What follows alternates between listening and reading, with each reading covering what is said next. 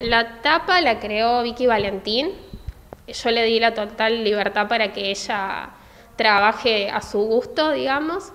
Como el libro se llama El mar que llevo dentro, se inspiró, digamos, en esa, que es un, verso de una poesía a su vez.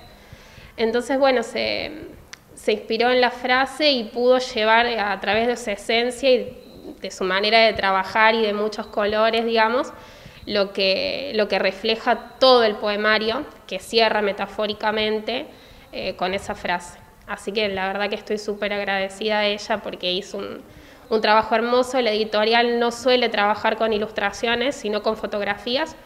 Y bueno, me dio la posibilidad de elegirlo y, y eso la verdad que es muy valorable. Así que contenta con eso. Llegué a la editorial a través de una convocatoria que se hizo el año pasado de la editorial Niña Pez, independiente de Buenos Aires, que abrió una convocatoria a concurso para un libro que se llamó Poesía desde el encierro, que eran escritos en cuarentena. Quedó seleccionada, entonces soy publicada en esa antología y la editora me da la posibilidad de mandar mi propio material para editar eh, una obra propia. Bueno, después de un tiempo de, de escribir y de revisar y de tratar de, de, armar, por así decir, de compaginar un libro, después de varios meses decido eh, mandar ese material. Obviamente tenía que ser evaluado porque la editorial trabaja de una manera que si bien es independiente y está abierta todo el año a la convocatoria de escritores, eh, bueno, ellos tienen consignas con las que trabajan, entonces tiene que cerrar, digamos, con el lema o con estos puntos eh, con los que trabaja la editorial. La consigna principal son libros para un mundo mejor. Entonces, bueno, nos encontramos con libros que, que tienen impronta educativa, eh, también con ficción, con poesía, trabajan bastante a nivel federal. Bueno, después de, de que se evalúa el material, y les pareció acorde y les gustó, me mandaron una devolución que la verdad que fue muy amena, muy cercana, hermosa, la verdad que, les gustó, les gustó mucho.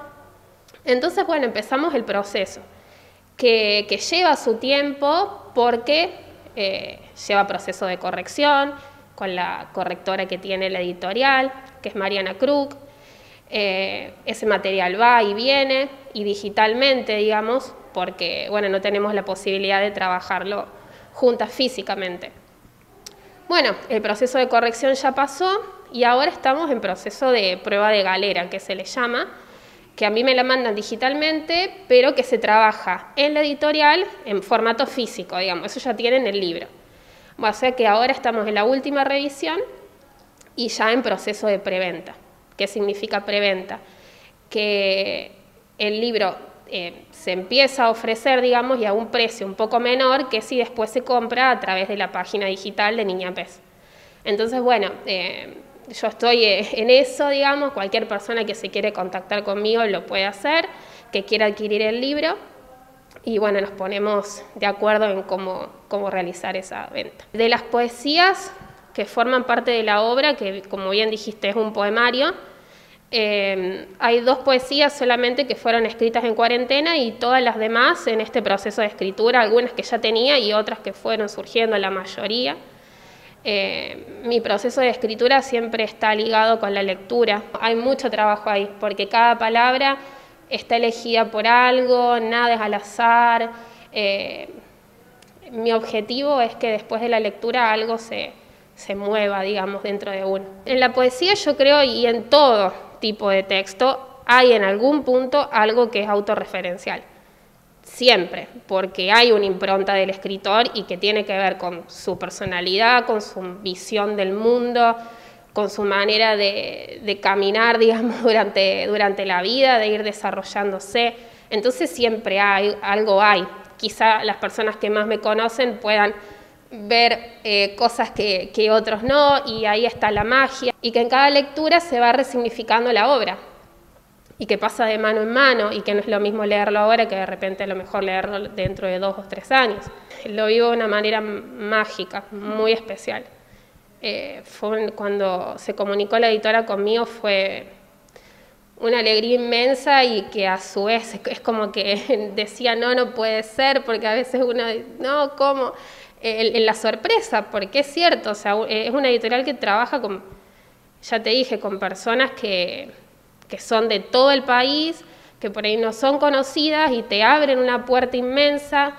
Me ha pasado que después otras editoriales empiezan a contactar con, con vos, otros escritores, escritoras.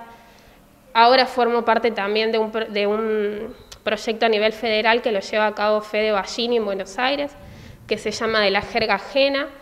Él es, eh, digamos, narrador, entonces hace poco ha narrado en su, en su canal de YouTube, en su ciclo Poesías Mías. Y bueno, una cosa lleva a la otra. Y realmente sí es un, es un proceso mágico y una oportunidad muy grande y un sueño que se cumple, que tengo desde que me acuerdo, digamos, de muy chiquita.